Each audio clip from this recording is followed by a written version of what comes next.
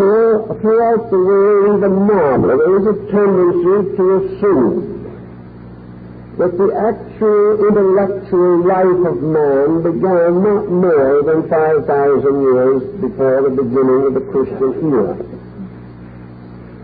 Behind this date, it is assumed that man was slowly emerging from savagery.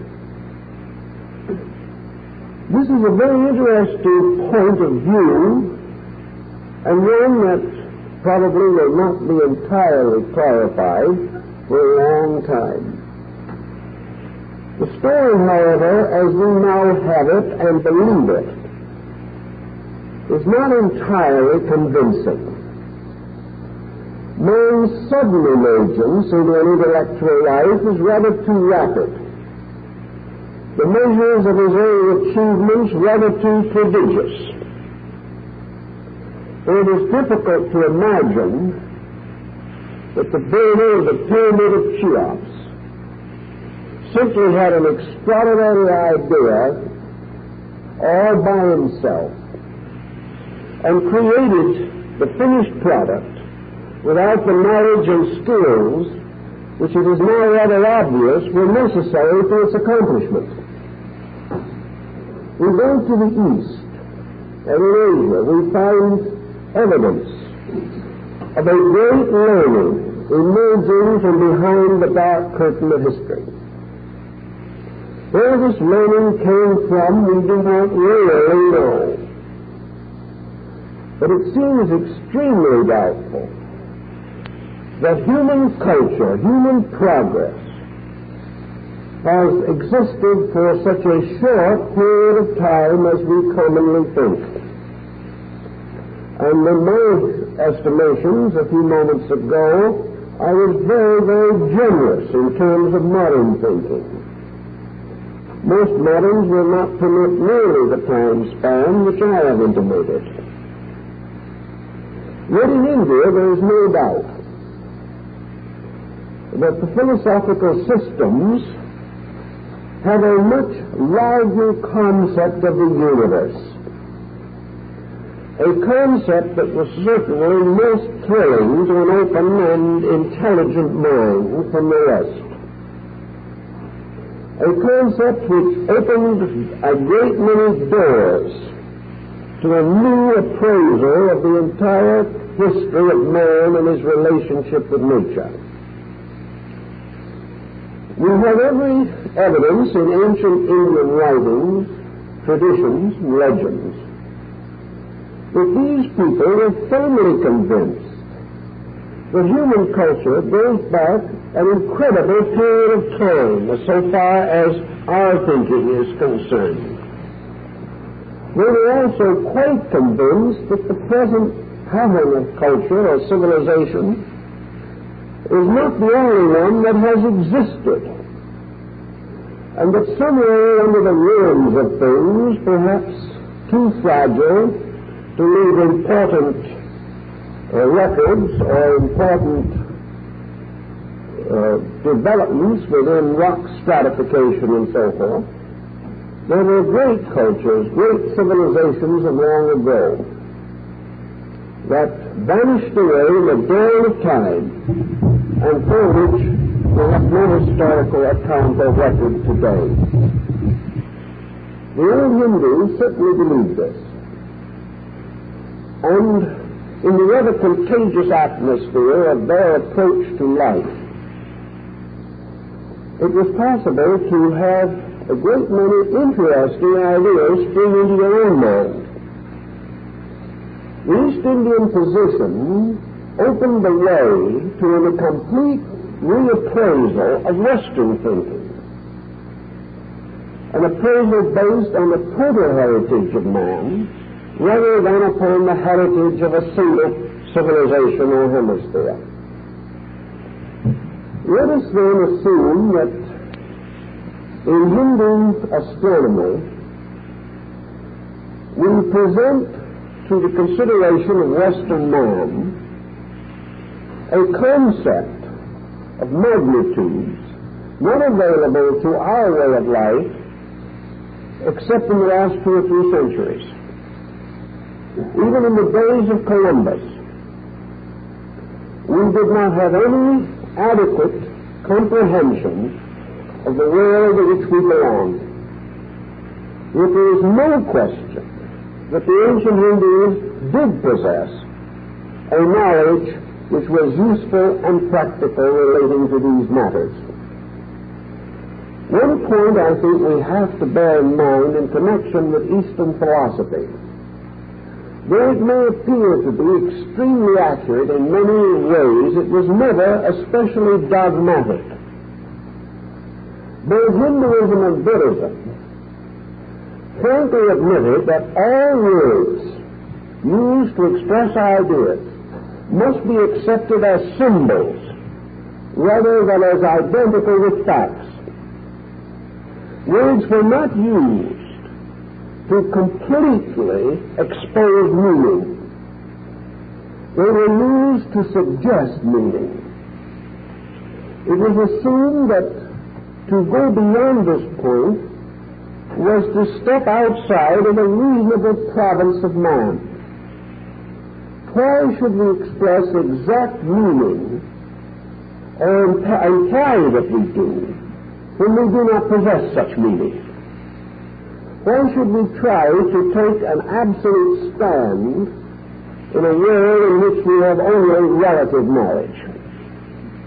The ancient person, therefore, was inclined to be rather modest in his pretensions about knowledge. He did not expect the great concepts which he expounded to be accepted literally, to be regarded as hard and, fact, and fast facts somewhere in space. Uh, they were improvisations upon a cosmic theme. The full theme man did not understand, and may not for a long time. And therefore all dogmatism does little more than paralyze progress by locking men's minds in attitudes that are not final and therefore which cannot be defended as final. But in their astronomy, uh, the Hindus took it for granted beyond any question that the entire field of space was not only alive but was ensouled by consciousness. The creation is an expression of consciousness. That all things as we know them arose in the divine nature, just as thoughts, ideas, inventions arise in human nature. To these people, therefore, there had to be an infinite consciousness there had to be something so vast that it extended beyond the galaxy. That the whole pattern of the Milky Way with its millions of suns was only an incident in this consciousness. That it went on and on beyond conceivable time and space, into that which is timeless and spaceless it proceeded from that which is finite to infinity in all directions and in every quality. It not only extended in terms of area, but it extended in terms of internal structure, so that the innermost parts of things uh, were as far from our present knowledge as the outermost parts the immensity within life is reflected in the immensity outside of living organisms. Everything, therefore, was a vast unfoldment of infinite consciousness. This infinite consciousness, by virtue of its own infinity, could conceive, generate, produce, and form anything that arose within its own nature. It therefore could produce an incredible diversity of creations, adjusting each to the circumstances of its own nature, adjusting each to the great cycles of evolutionary process which permeated and sustained the entire pattern.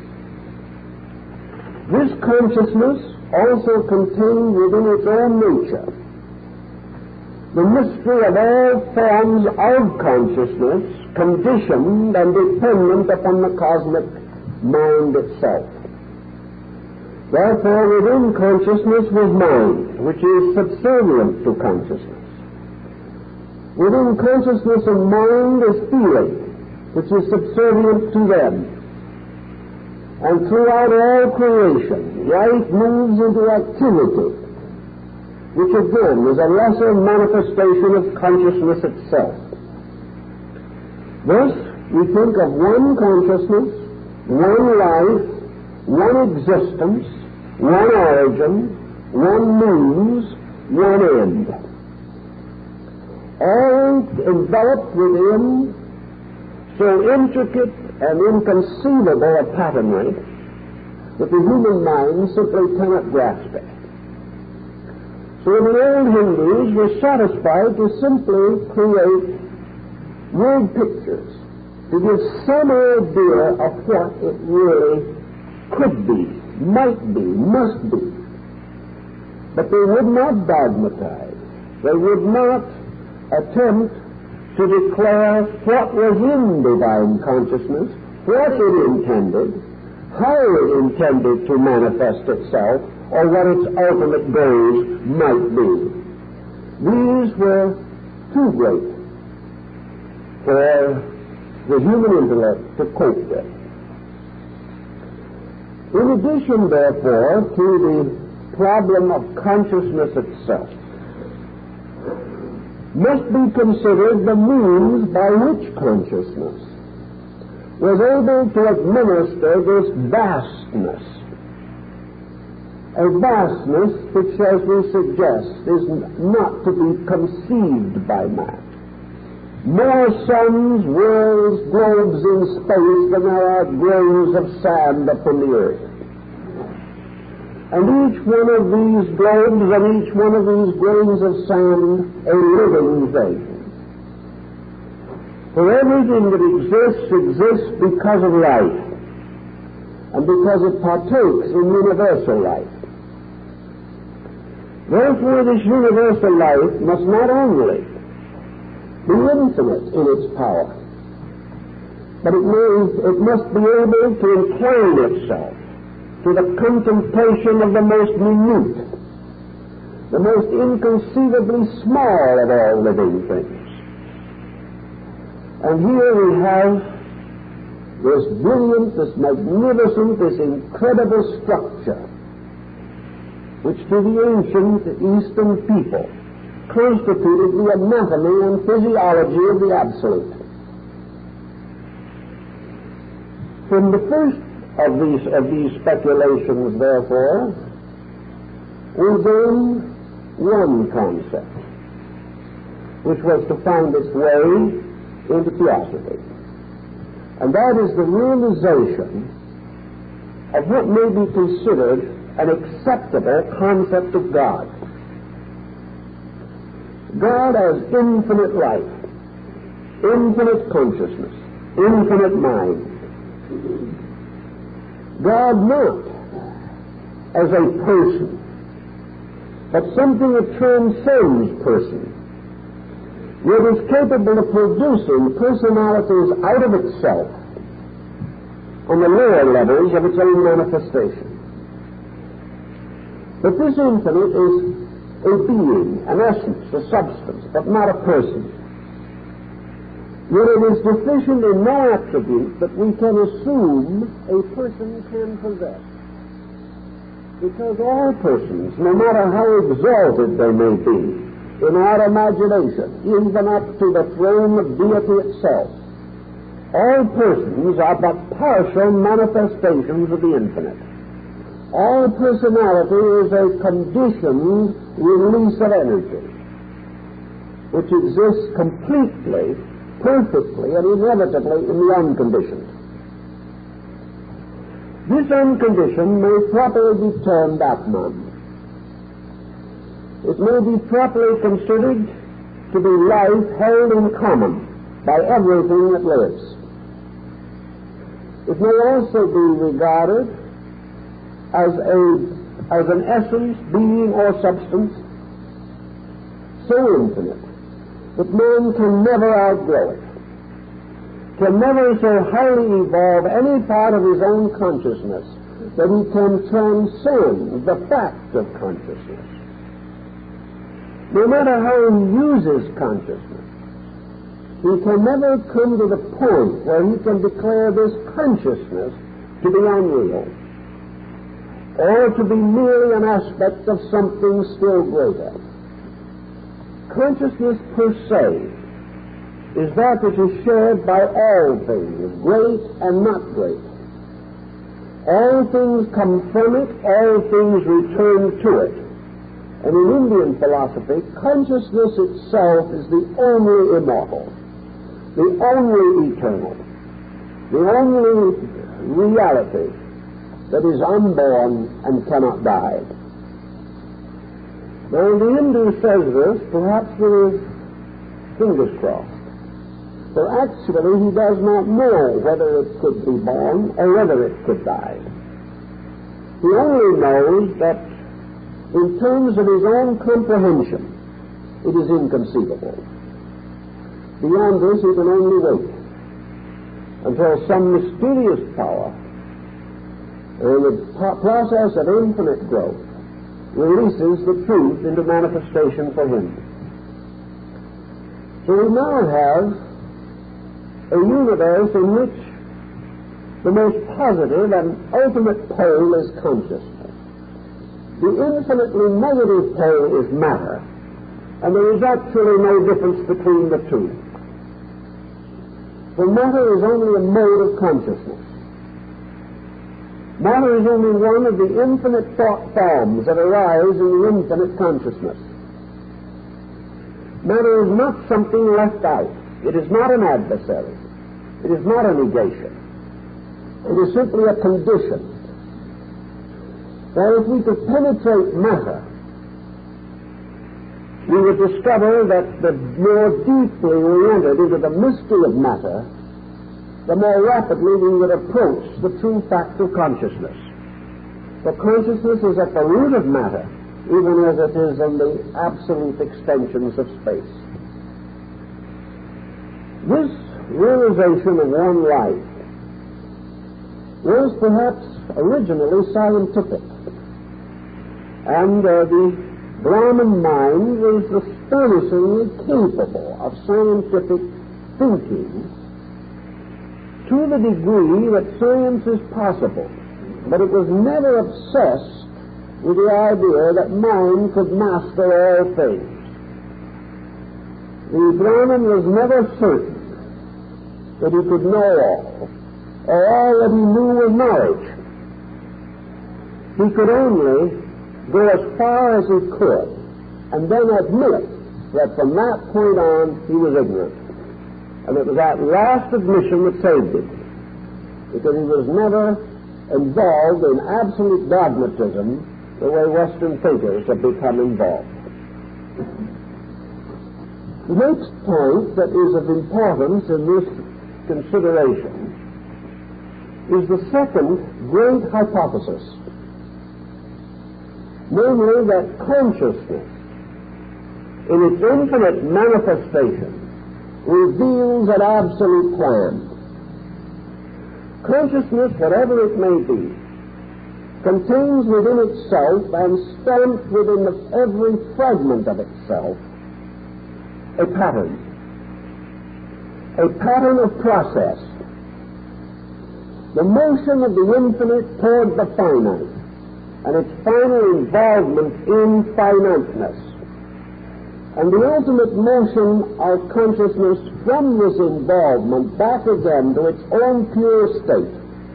Processes that we call involution and evolution, borrowing from the thinking of 19th century European minds like Herbert Spencer.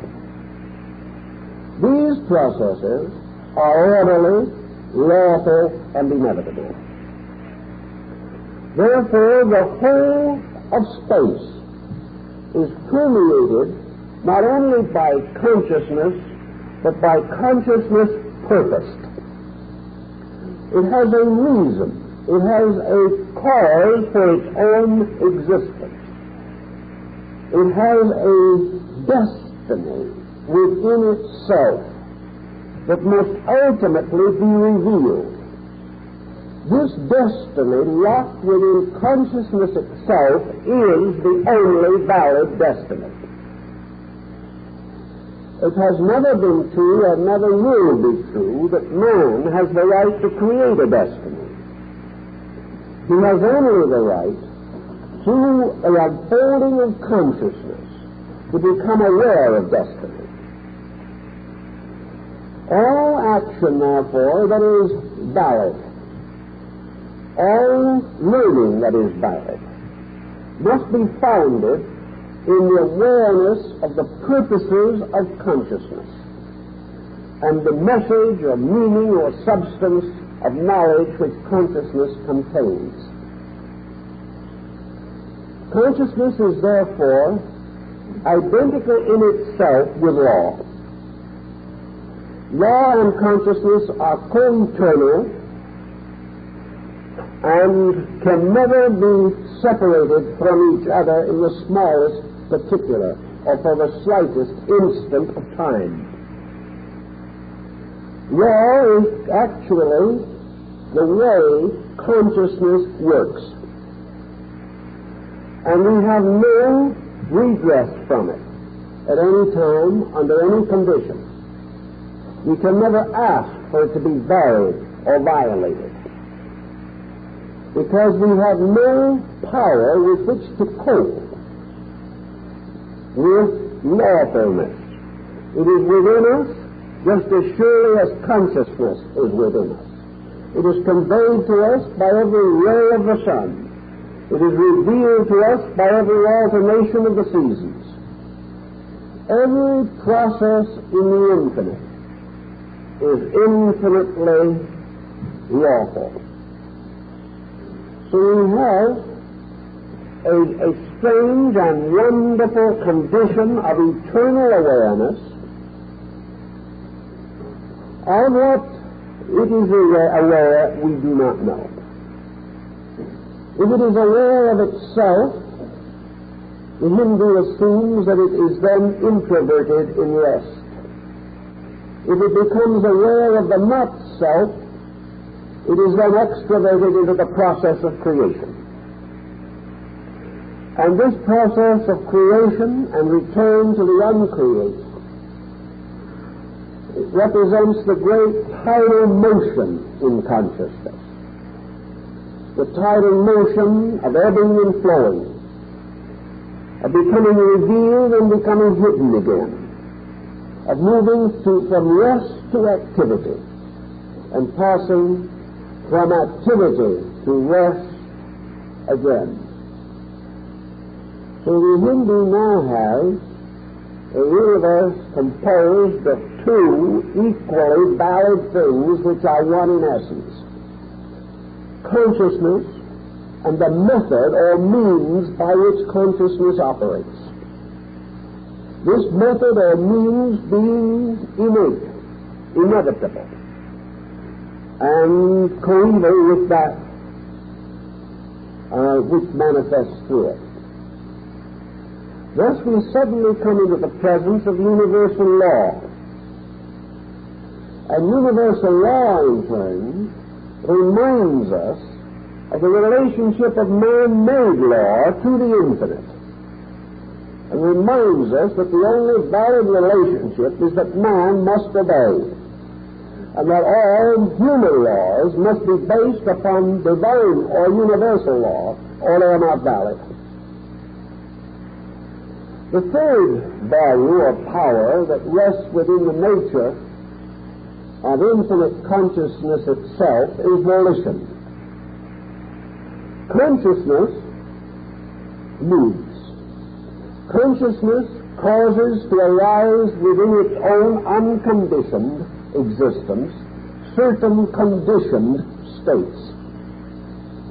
Some Indian systems of philosophy assume that volition is identical with consciousness is also eternal, and that the processes of arising within consciousness are also eternal. That there is never an instant, never a time when the real manifestation of consciousness is not also operating. Therefore, consciousness is eternally created, causing to arise out of itself innumerable conditioned aspects of itself.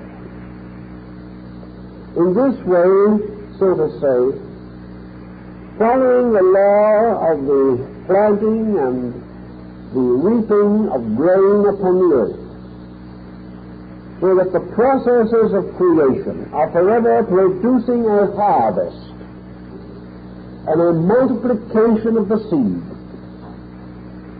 so that the harvest is enriched tenfold. This volitional power also rests within everything which is by nature a part of this cosmic system. And that means literally and actually everything. Consequently, all natures have within themselves the volitional power to grow. And this volitional power also includes the generative power to procreate to reproduce, to perpetuate kind and species. This process of infinite perpetuation uh, being obvious in space as well as in the ordinary affairs of the animal and vegetable kingdoms. Out of all of this, therefore, there comes the essential concept of an eternal symbolic being, ever in meditation, seated eternally in the adamantine posture of the Buddha. A being always and eternally in a strange kind of contemplative existence dreaming forth worlds, for conjuring up in meditation all of this vast pageantry of existence which is suspended upon the impulses of will and yoga. This infinite meditating power of the Buddha, the primordial, the power of the consciousness and of the mind which in the course of time will come forth from this infinite being. The infinite meditator produces from meditation that which apparently is distinct from itself, individuality. Individuality, therefore, is not at the apex. It is a conditioned expression, as Pythagoras was aware. The eternal meditator produces, therefore, from meditation. Beings that exist with a certain sense of individuality. Beings in whom the infinite unity is obscured, but who still participate in the volitional power to become, to attain certain things, and are therefore the powers that set up the world. Of these volitional beings, the highest are those which we call deities this term being given to the first known-born progeny of the infinite. Being born of the mind of the infinite, they possess an essence which is of the nature of mind. But locked within this essence is also the life power of consciousness itself. But the mind born cannot explore consciousness by mental power. Therefore, as was referred to in the, the Eddas and sagas of the Scandinavian legends, the deity Odin, representing cosmic mind, was able to know all secrets except the secret of his own origin and his own destiny. These he could not know. So the great generation of the mind born actually begin the population of the firmament. And from these mind born descend all the orders of life possessing mind or possessing manas, or possessing the attributes of the thinker. Now the mind-born have had a rather rocky and difficult time of it. Because actually, it is the destiny of all things that are essentially the progeny of mind that they must remain unaware or ignorant of their own origin, of the substance of themselves. They can penetrate only a little distance into their own nature, and then they are blocked by the instrument which they have to use for penetration. For the mind cannot transcend itself, nor can it know that which cannot be contained within the experience of mentality. Thus the deities of ancient times established somewhere in space the beginning of worship.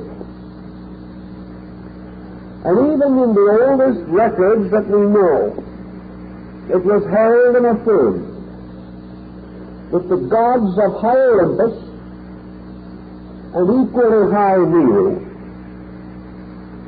still paying homage to the infinite principle at the source of themselves.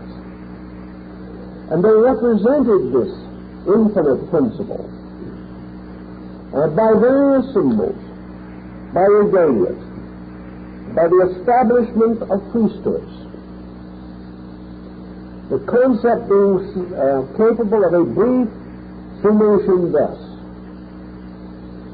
that the mind can explore that which is available to intellect.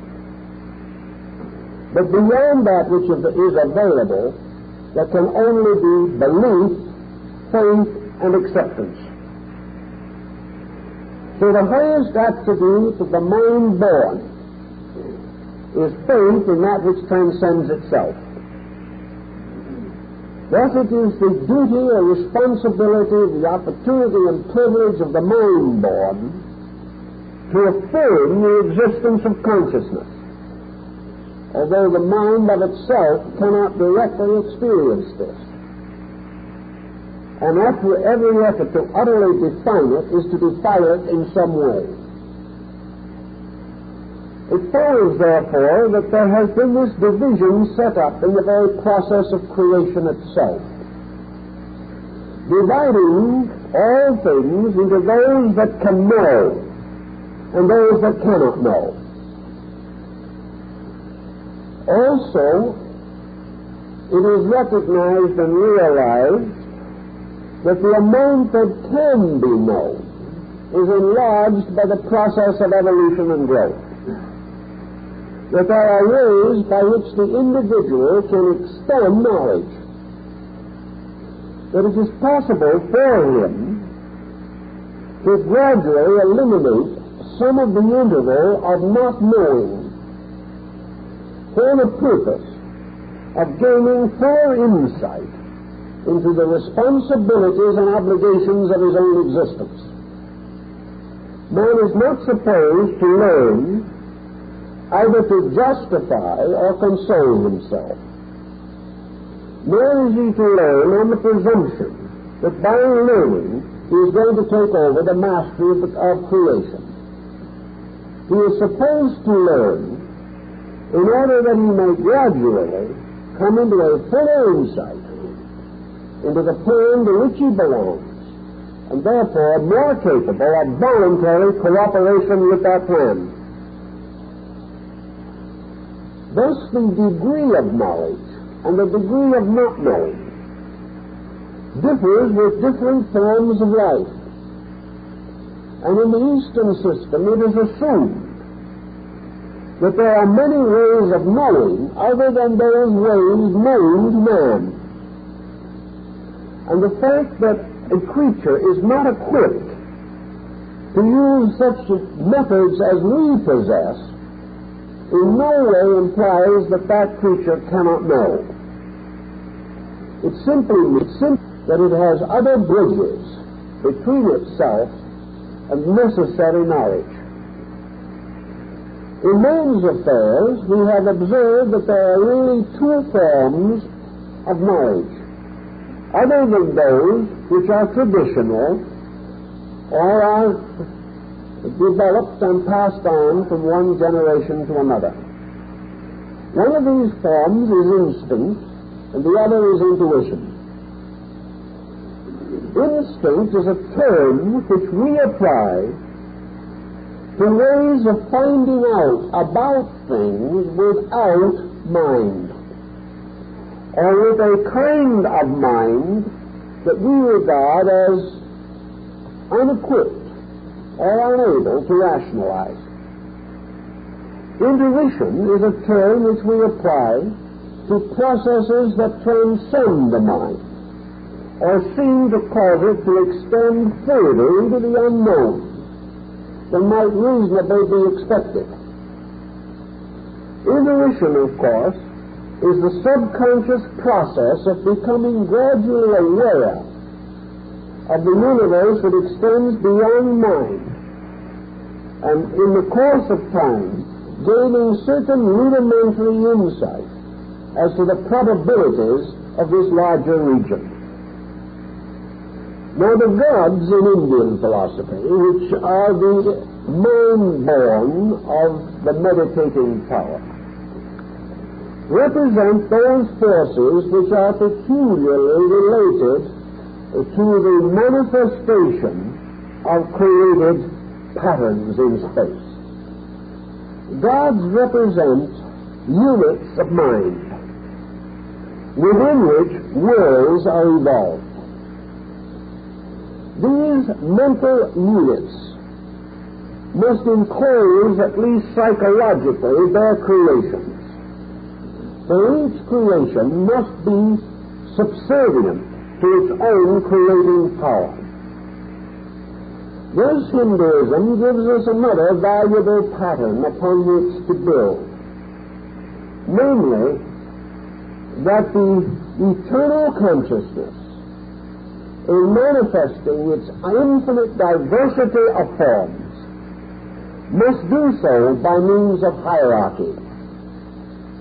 In other words, the various steps of creation must be assigned to units of intelligence capable of performing these specified duties. It is consequently assumed that the universe is a vast order of life ruled over by a vast hierarchy of beings. These beings arising as impermanent images within the nature of the unconditioned consciousness space itself. All of these gods, so called, are capable of birth and capable of dissolution. The only thing that cannot be dissolved is consciousness itself. Thus, none of the manifestations of consciousness can be eternal. But in terms of human experience, man knows that they can extend for vast aeons of time, to be measured in billions of years. and in billions of light years as far as distances are concerned. Yet although to us such vast beings, the great stars, and those powers even beyond stars which are invisible to us, that are infinitely greater than any galaxy that we can contemplate, all of these are subject to dissolution and must, according to the great cycles to which they belong, pass through the mystery of sleeping and waking, and of life and death, like all other created things.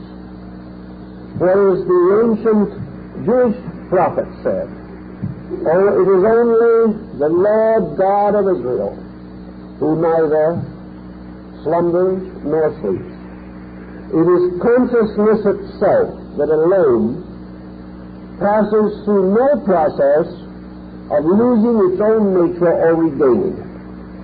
But loss of selfhood and the regaining of selfhood can exist within it, but it cannot itself be lost, divided, or cease for one instant in its own awareness of its own being. And if we wish to assume this concept to be more or less the idea behind Indian philosophy of the universe, and that this process takes place within vast cycles of time running into billions of years, and that all the different levels of the cosmos have their own cycles, their own time periods, which are to us immensities beyond calculation then we have what might be termed the great machinery of the cosmos. We have a machinery which, according to the Eastern mind, is ensouled with life. The final proof of this ensoulment being the fact that it is alive. And that in the very process of becoming alive, it becomes subservient to the infinite laws of life and generation.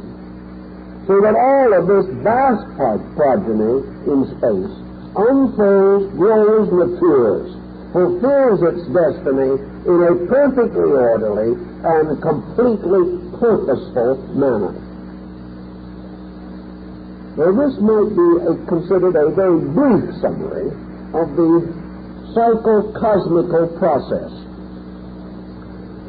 Now we know that out of this later rose the other system of thinking to which Madame Blavatsky was most addicted, and that was Mahayana Buddhism. We know definitely that Buddha himself had available to him these great universal concepts of Hinduism because he possessed this as a natural birthright, being of princely origin and belonging to the caste of the warriors. Gautama Buddha was naturally instructed in this ancient lore. And so were most of those early companions who formed the first cycle of the patriarchs and the arhats. Just as most of the early Christians were derived from Orthodox Jewish backgrounds, so most of the early Buddhists were born of Hindu families, trained and raised in Hinduism. Consequently, they shared together this kind of an attitude toward life. It was this basic information which they did share in common that probably did the most to protect early Buddhism from some of the pitfalls that have been so detrimental to other religions that did not have an adequate grasp of universal immensities. Our modern astronomers today would probably regard the Hindu position as almost ultra conservative they would say that it is even bigger than India anciently thought it was. But even the modern astronomer, with all his discoveries, cannot outwit the moral implications of the Hindu theology. Astronomy has not been able to prove or demonstrate that consciousness does not exist. It has not found any other answer to take the place of the great concept of Eastern mysticism. Modern astronomy is satisfied to try to explain uh, the nebular hypothesis, prove it or refute it. It is satisfied to explore slowly and painfully the substances of the astronomical diffusion. But even today, after thousands of years, the astronomer cannot actually find serious fault with the Hindu thinking.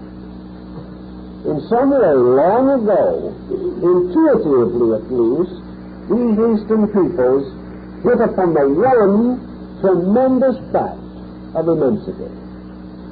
They realized that the universe was not merely one little solar system.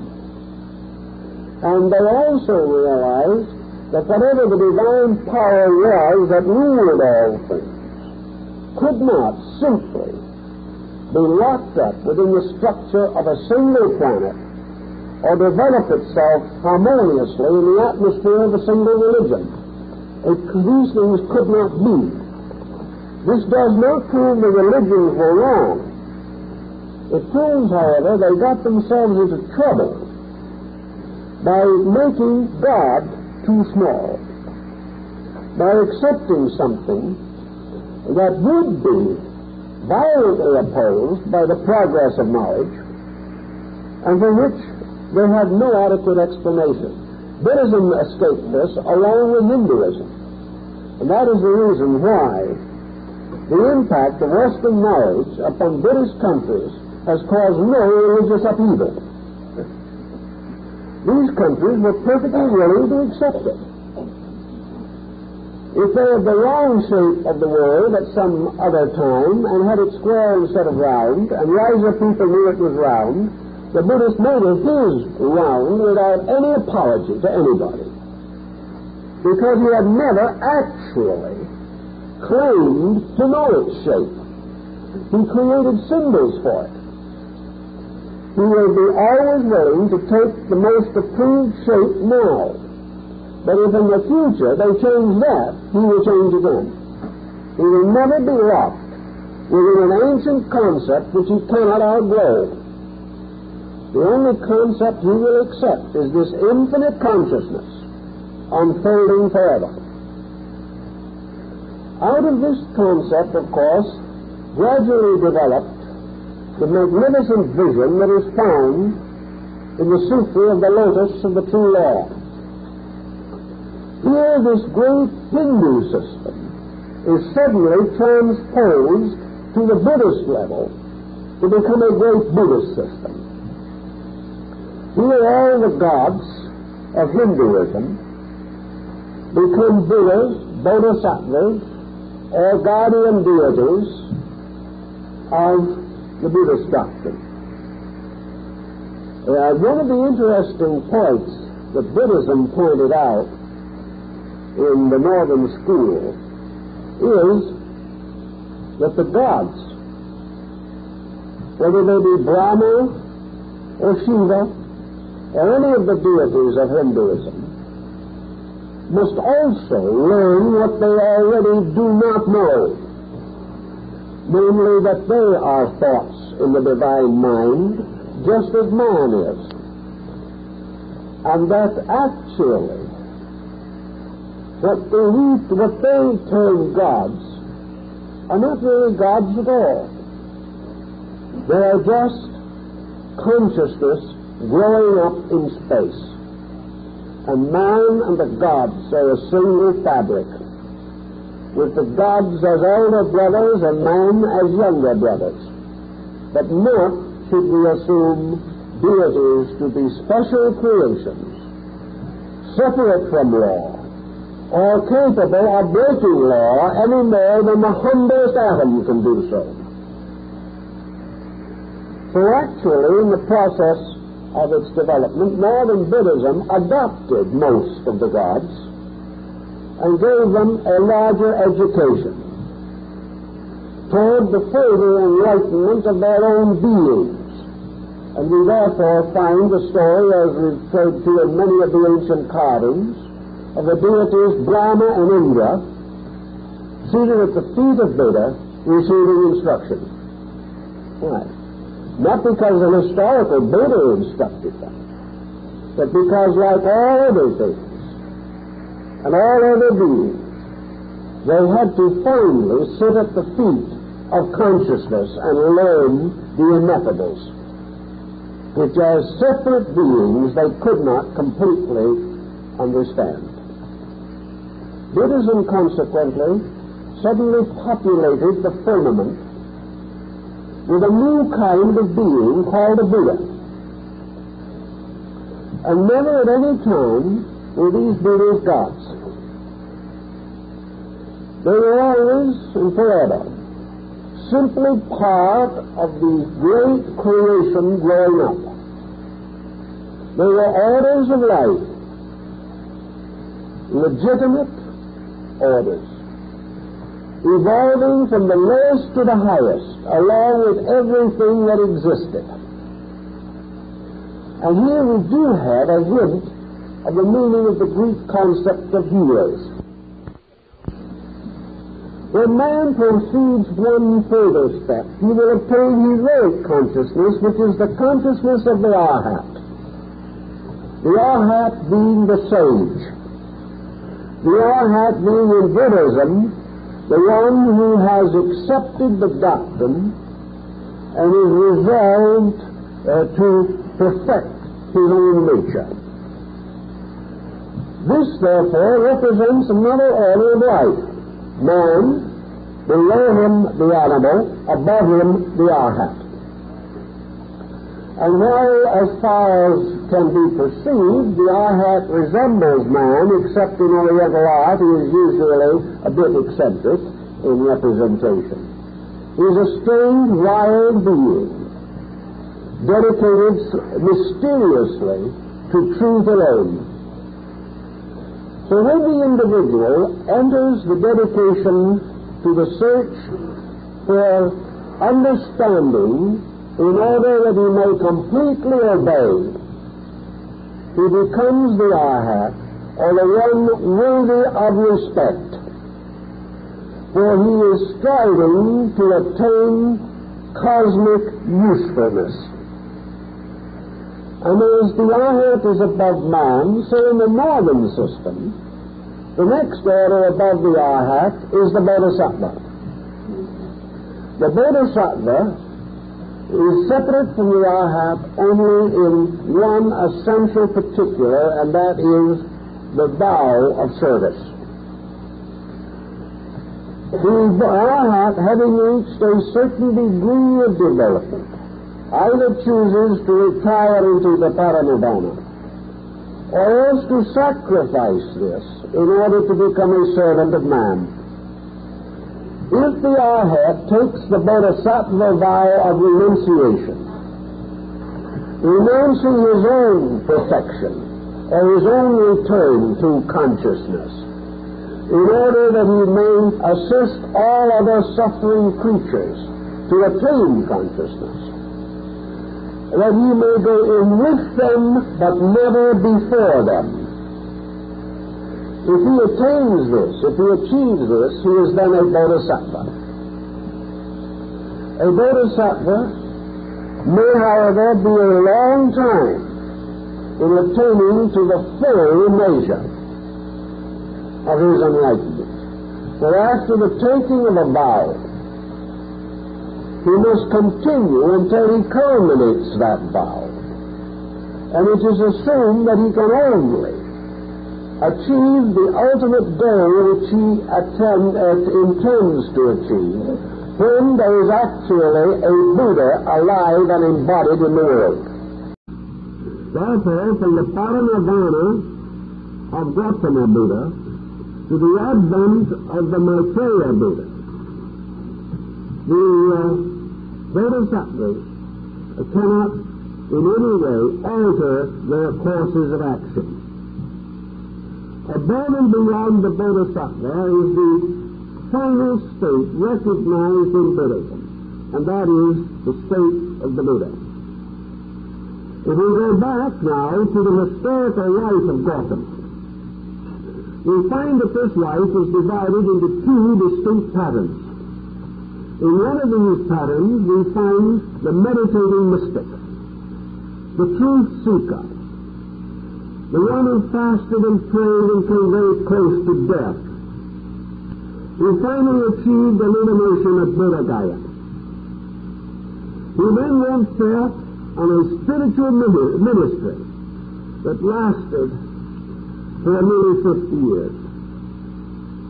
In this ministry, we find him teaching, meditating, praying, discoursing with his disciples, uh, seeking to share with them the Dharma and the Sara, or the law and the morals.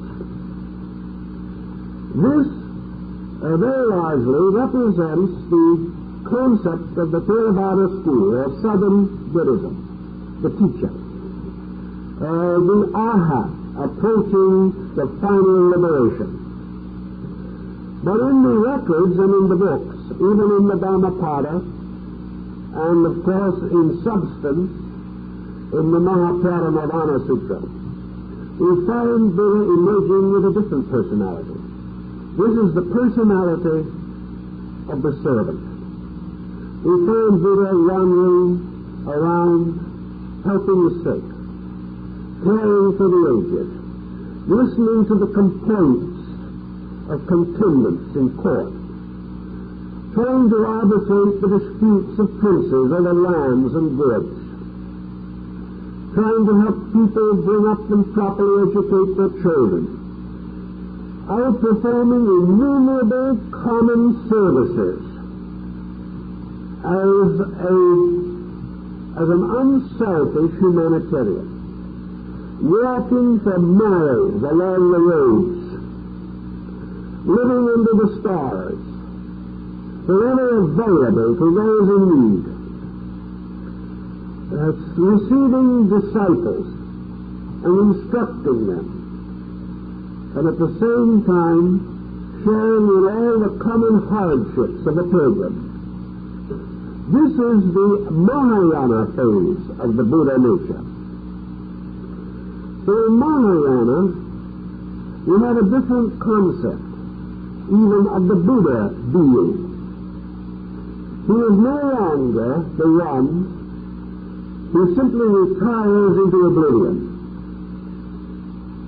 Although it is not at all certain that Buddha himself actually taught nirvana as annihilation of individuality. He simply refused to discuss it. But in the northern system, we find the emergence of the great metaphysical Buddhas, who in turn had arisen from the order of the Bodhisattvas. Of these metaphysical Buddhas, we have one such as Amida, or Amitabha, Lord of the Western Paradise, who having completed his vow of service, has fashioned a region to receive into itself all those with whom he served and labored, so that they would go forth with him into everlasting peace. This concept of the Mahayana Buddha, the metaphysical Buddha, is the concept set forth in the Sutra of the Lotus of the Good Law. His space is filled with an infinitude of these radiant, self-attained, self-achieved beings who by their own merits have risen from the lowest grains of sand and by ages of dedication have come finally to be the benevolent protectors of those growing up around them as their children and their disciples. So that the Mahayana transforms this whole pattern into a wonderful, benevolent family relationship. Now these two patterns, space filled with the gods of Hinduism, space resplendent with the Buddhas of Northern Buddhism, a space in either case, a vast friendliness, filled with potential life, with Buddhism somewhat more democratic in its approach. In Hinduism, the heavy boundaries of the caste system still have their weight. But in the northern school of Buddhism, everyone, every being, regardless of a state, every creature, male and female, every animal, bird, insect, had within itself the potential and the equal right to eternal illumination and eternal peace. Uh, this difference, however, did not skimp the astronomy of the Buddhist theory. It simply gave a new kind of being, authority.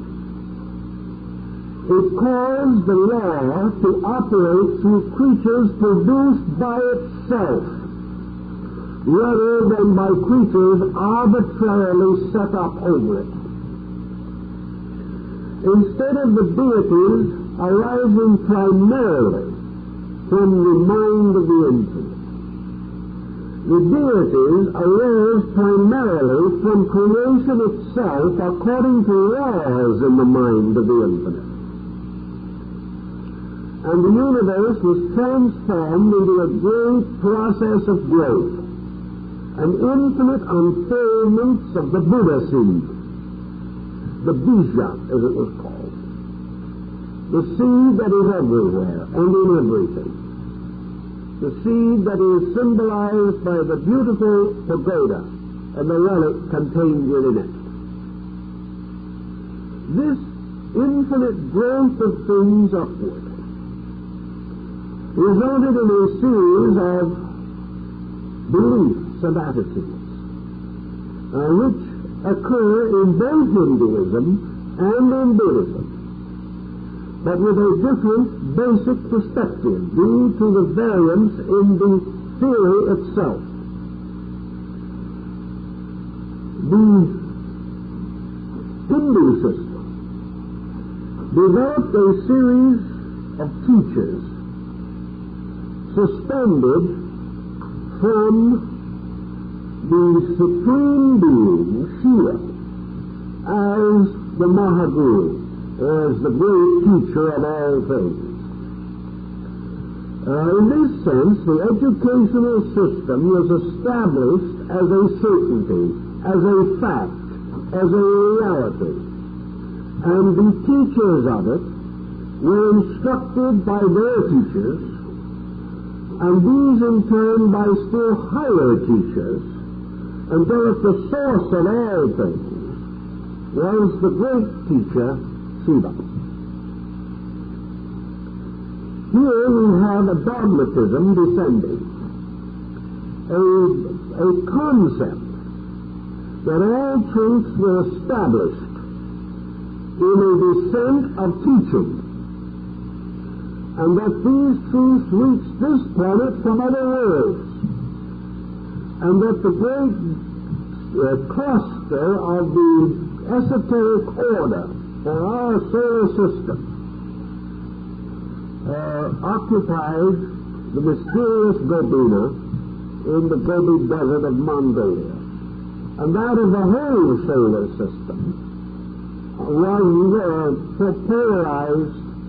in the constellation of the bear, the great bear, or the Rishi, the stars of the immortal teachers. It follows, therefore, that in Hinduism, man moves step by step along a path that had been clearly set for him by divinity and the, that the great virtue rested in the unconditioned acceptance of this, and the continual acceptance of the instruction of the guru.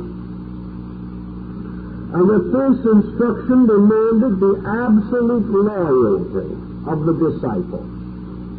Because the guru was, by a kind of apostolic succession, descended from truth itself. The guru system, therefore, was a great structure of spiritual education, which at one time, of course, also included education in practical all secular matters. The Buddhist system was essentially not too different, but there was one very curious difference, which in a way altered the whole picture more than we have any uh, realization about until we begin the actual study of the yoga and of the tantra. This is that the great schools arose not from mysterious superhuman beings, messengers or avatars of deity, but the great schools, like man himself, evolve upward out of the darkness of ignorance and may therefore properly be represented by the open blossom of the blue lotus, which having sent its stem up through the mud and the water, finally opens its immaculate blossom upon the surface and adores the sun. Thus in Buddhism, the great schools, so-called, are really created by enlightened, illumined human beings. These schools have no significance, no meaning, and no purpose outside of humanity. The symbolism is only valid because man is the creature that he is. They are fashioned from human necessity and not by divine dictatorship. In substance, their instruction is not very different. But the disciple or student is always reminded that the final unfoldment of marriage is a voluntary action of his own. That it is the release of truth in himself that constitutes uh, achievement. Truth is not bestowed by any power. Truth is innate and is released by aspiration dedication, and discipline. Thus, the Buddha seed is the reason why man can know. It is because he possesses within himself the archetypal form by which Buddhahood can be attained. Now, the Buddha, as we found in several of the sects, uh, the Buddha is again only a word. The Buddha represents Bodhi or enlightenment in terms of human achievement. No man, no Buddha is one of the old axioms. And Zen has made a great deal of it. Actually, the Buddha is a symbol of what man as man can accomplish in himself, of himself, and by himself through personal dedication and collective effort. He represents, therefore, what may reasonably be expected of man. And in no sense of the word does Buddha represent any extraordinary power bestowed by any deity upon anyone. Nor does it represent an embodiment of a deity in any way different from the deity indwelling in all and equally embodied in everything that lives. It is not a, a denial of deity, but it is the denial of an extraordinary process by which some can attain by virtue of a different code of conduct from that required of mankind in general. It then actually means that the term Buddha was applied anciently to a historical person, but gradually came to represent the archetypal human being in the fullest development of his humanity. We have exactly the same uh, process of transformation taking place in the New Testament, where Jesus, the human teacher, is gradually identified with the Christos, the universal mystery of life. And it was Paul who transformed a Syrian sect into a world religion. It is in the same way that Mormon Buddhism transformed a sect that was practically extinct in India into one of the most powerful forces in the moral history of Asia. This transformation was achieved by one circumstance basically, namely that Buddha represented nothing extraordinary, nothing miraculous, nothing utterly wonderful.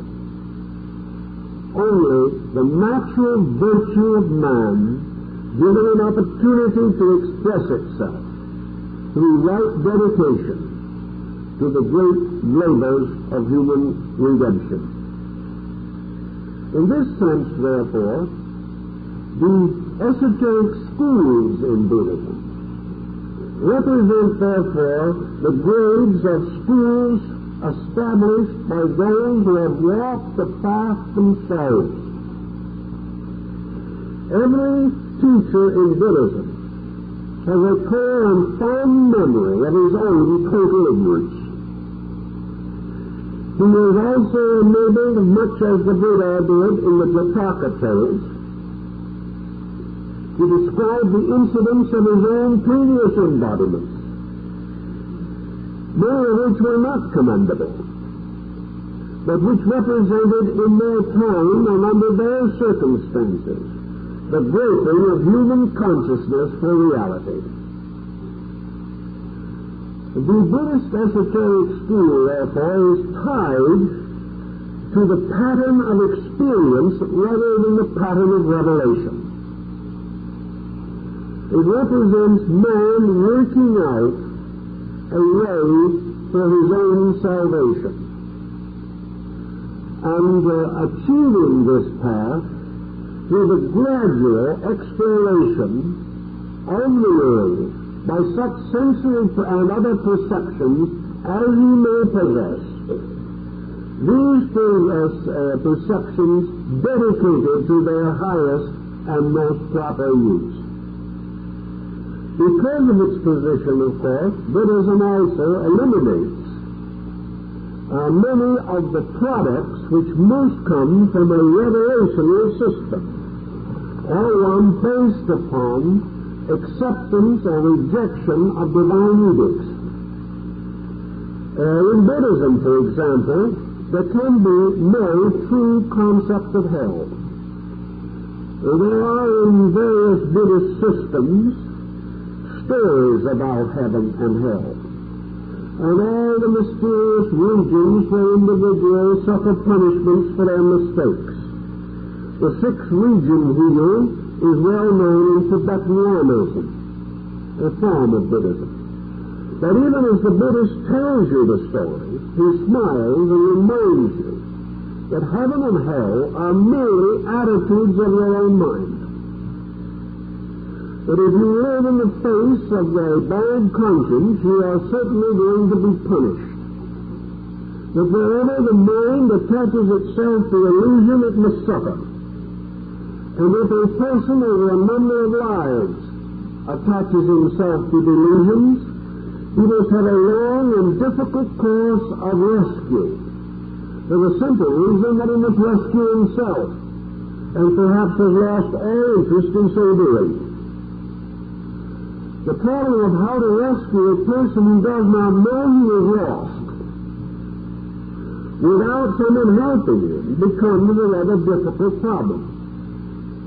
But the ancient law is equal to this emergency and all others.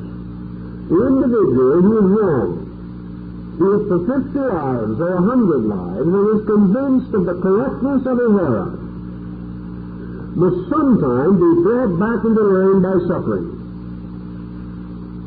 He cannot continue indefinitely and eternally to make mistakes hurt him. And gradually, as his nature deteriorates, these mistakes become more frequent and more irrational and more obviously false until finally they become sufficiently simple, sufficiently obvious, and sufficiently uncomfortable to force their recognition.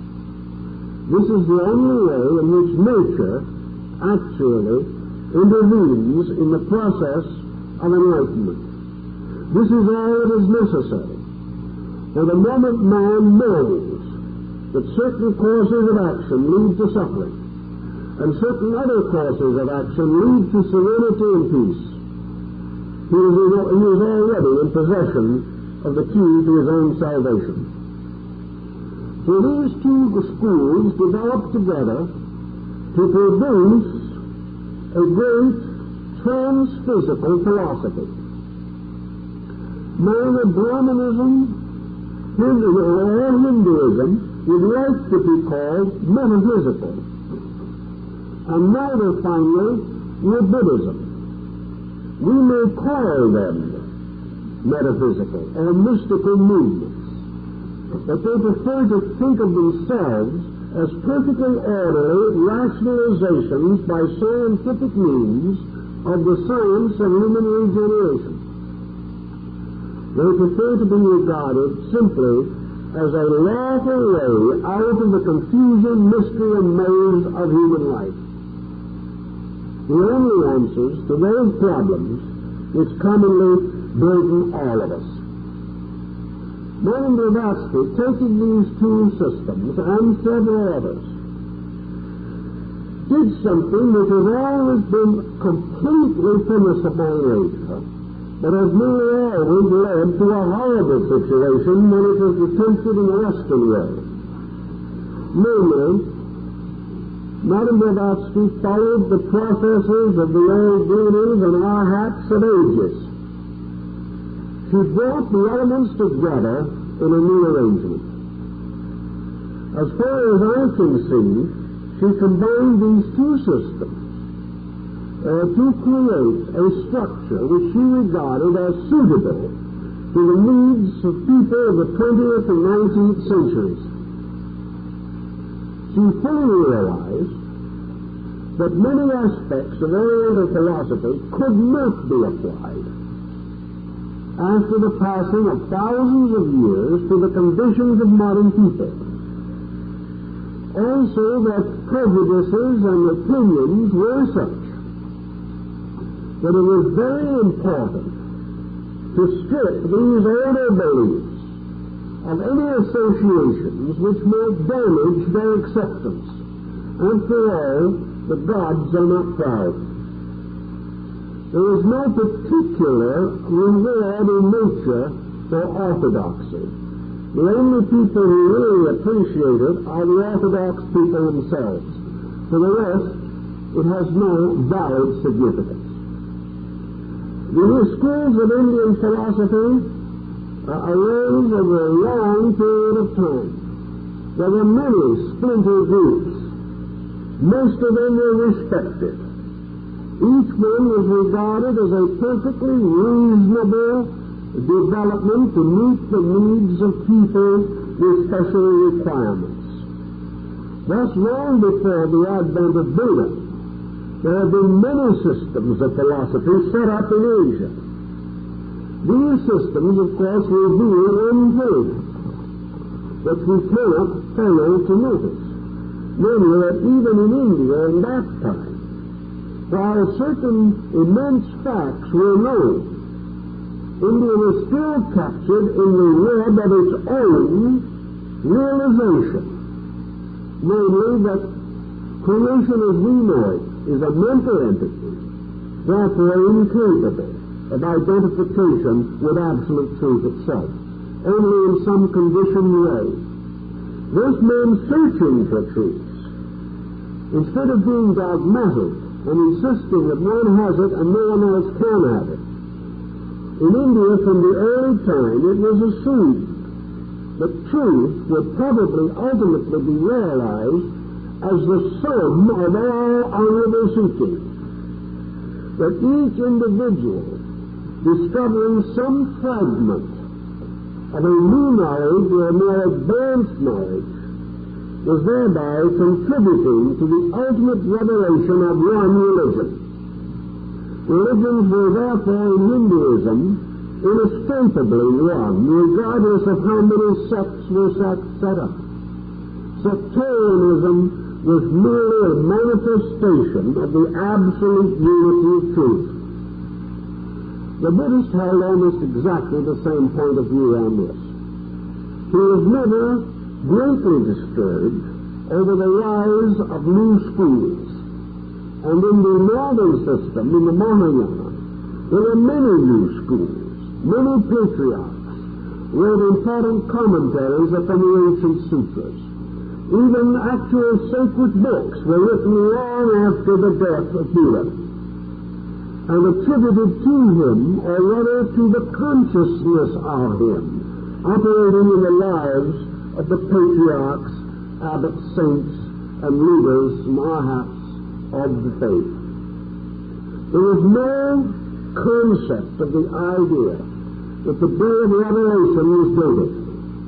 Revelation came to the individual wounded, and it could come to him in early day or late day. It made no difference. It was his own merit. And having received this revelation, he was perfectly justified in teaching it. This was the policy in Japan. And the sects of Japanese Buddhism that exist today were either derived from Chinese uh, schools that were brought to Japan, or else were indigenous and developed within Japanese life itself as a necessary means of interpreting a foreign religion. So if Madame Blavatsky followed the ancient order, he would feel perfect freedom in rearranging certain patterns to produce what she would regard as an appropriate dispensation. In this, it is believed or traditionally held that she was assisted by certain adepts who were of other or different religions. One of them, by name, obviously a Buddhist, another a Hindu, one a Eurasian, and another a European. These various leaders unfolded spiritual centers of life, whereby were perfectly justified in reshaping and restating the Western people certain essential, usable, practical principles of Eastern esotericism. This apparently is what was accomplished. I have talked this matter over with both Orthodox Hindus and Orthodox Buddhists. Most of them are quite convinced uh, that the message which Madame Blavatsky brought was entirely legitimate. They are also convinced, however, that it is not identical either with Hinduism or Buddhism as these are exoterically practiced today. She did not claim that they were. She claimed rather to have derived her information from certain secret sources and old foundations by the means of which she sought to circumscribe or in one way or another modify uh, the later teachings, which probably would have been uh, a little too controversial for acceptance by non-Oriental people. As a result of that, what she accomplished is broadly acceptable to both Hindus and Buddhists. It is also viewed with considerable admiration and respect by Parsis, uh, by Muslims, Sufis, and other various groups. Of course, this acceptance depends to a great degree upon the basic attitudes of the groups themselves. But actually, in the secret doctrine, there are streams of information which belong to all of these groups, and which for the most part have been neglected by them. Therefore, the general feeling that arises in connection with this uh, revelation is that it is a restoration of all times, of all things that have been forgotten, even by the orthodox members of living religions. Yet when brought to their attention, they remember that there were vestiges, references, intimations that such things actually existed long ago. That there were such truths that were broadly available, but uh, which had been lost, so to say, in the rise of creedal and denominational religions. Thus, the secret doctrine seeks to break through these boundaries. And one of its essential purposes is to point out that so far as we know today, that part of Eastern wisdom which is now incorporated in the Vedas, the Institutes of Manu, the Vishnu Purana, and the Zend Avestas, and the original basket books of Pali Buddhism, that these elements together constitute a reasonable summation of what may be termed the original basic religion of mankind. That at a remote time, even in this world in which we live, there was a common spiritual heritage. We have discovered in recent years, for example, what looks as though is going to be a key, is going to be a key to the basic language of mankind. And we have long believed that there were a number of root languages which were separate and for which there could be found no reasonable common denominator. We are now convinced that all languages of mankind, even those of primitive people, have one origin, have a common source in a primordial language. In the same way, it is conceivable and now held that what we now know as the light of the Veda, or the light of the law, not necessarily referring now simply to Hindu law, but the light of the great law of things. And the great law was revealed to the institutes of Manu, represent the primordial religion of mankind. That this religion developed either in the valley of the Indus or perhaps in the great Trans-Asian area involving and bridging from Persia to China. But somewhere in this vast area, the first major spiritual revelation of religion came to man or man experienced it. It is very probable that he experienced it. It was the dawn of his own discoveries of self. And this experience revealed through him and to him began the process of enlightening him and establishing him upon a path of spiritual growth.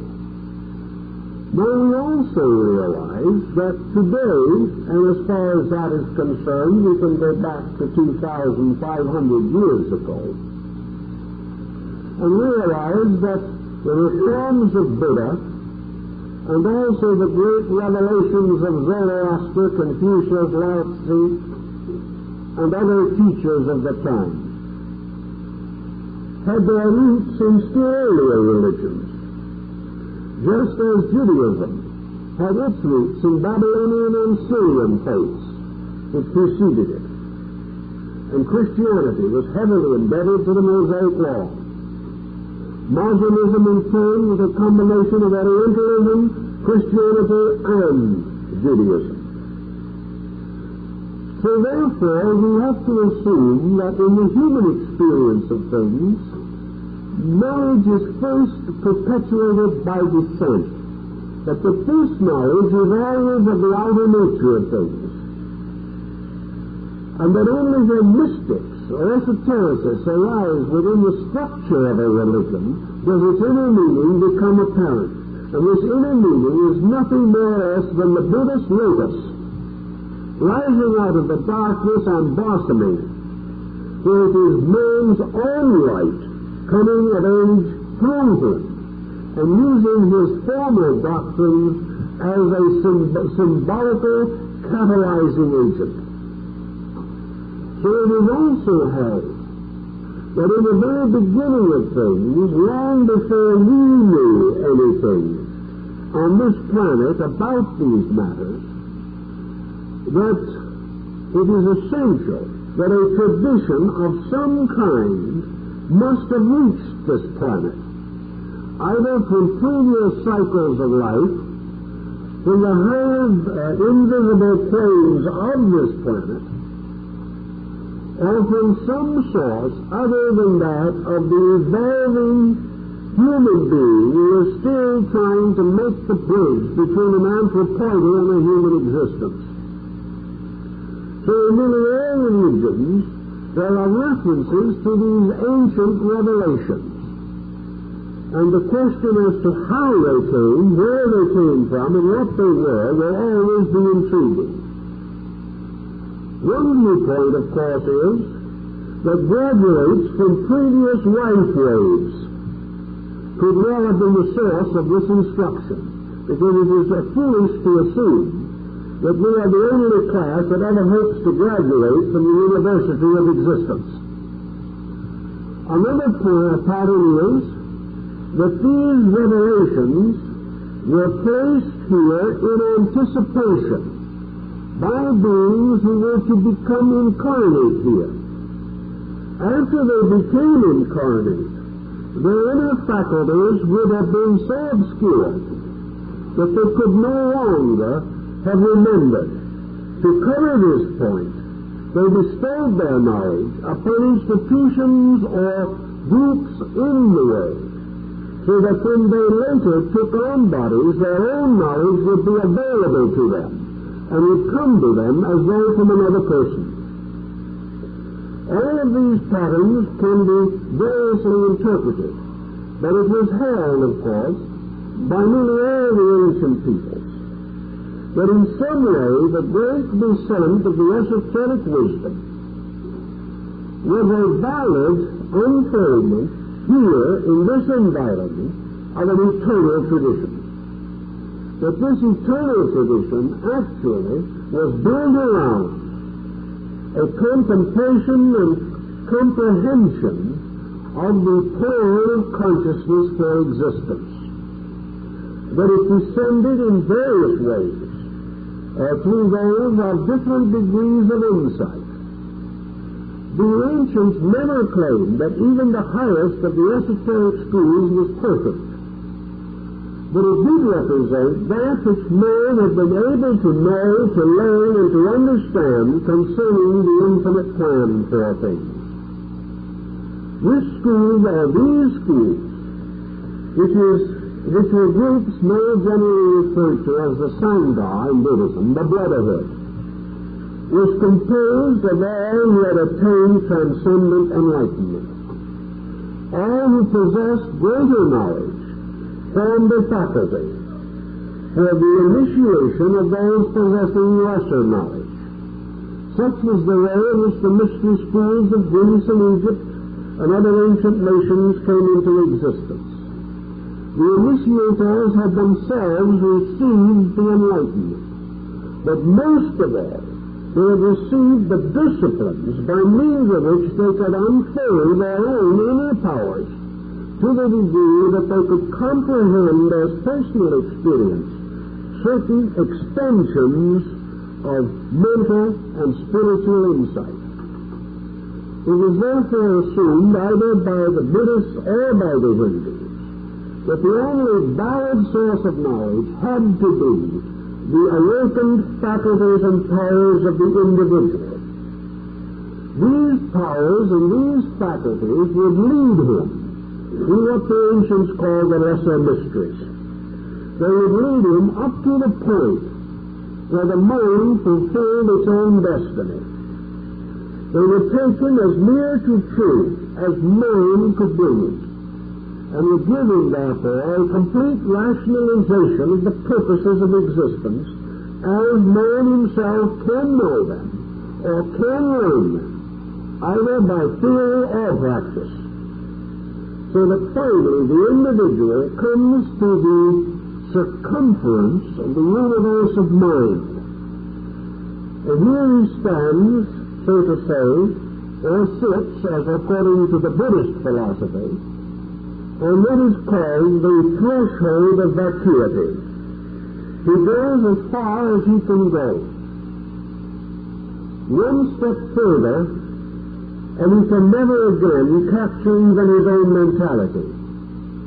One step further, and he must go into a superior state of existence, which he cannot estimate, and which from this side of the veil appears to be nothing.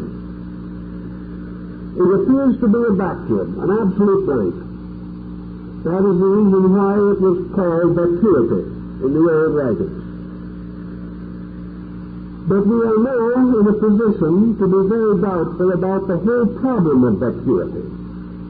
For we have suddenly discovered what we always affirmed, namely that nature abhors a vacuum. We have no reason to believe that vacuum exists. We can produce certain types of artificial vacuum in a laboratory, but we're not even sure that that is a true vacuum. What we really are beginning to suspect is that what we know as the unknown is actually the fullness of all things worth knowing. That consciousness itself, with all its magnificent equipment, lies in this thing that we call vacuum.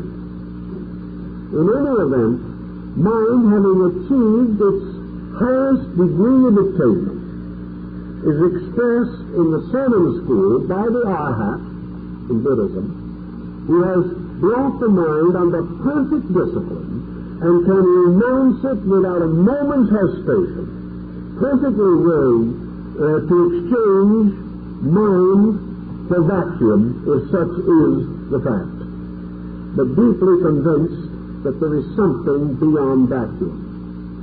In the northern system, you have the Bodhisattva, who having reached the boundaries of this mysterious realm, must either return and serve, or must continue on uh, to the final state of existence, which is described by the old uh, Buddhist poem that has the line in it, gone, gone, gone to the other shore. The end of this condition that we know that that which steps through never returns.